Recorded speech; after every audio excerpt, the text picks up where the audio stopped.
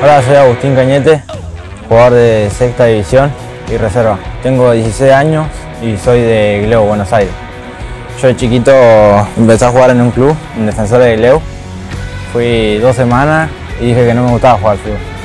Fui a jugar al BAB y atajé. Pensé en el arco y hasta el día de hoy que sigo en arco. Yo creo que todos aportaron su granito de arena para, para que hoy sea el que soy. Mi llegada a Banfield fue a partir de un profe que me trajo al club, hice la prueba, estuve una semana y quedé. No, me encontré con un grupo muy lindo, muy unido y el grupo me recibió muy bien. Son unas excelentes personas. Es algo inexplicable porque yo no lo podía creer que estaba entrenando con él, hablando con él, compartiendo los momentos de cada día, inexplicable. Y terminó el entrenamiento y me felicita por cómo había atajado. Ahí le pedí una foto. Sí, sí, la atajé una vez.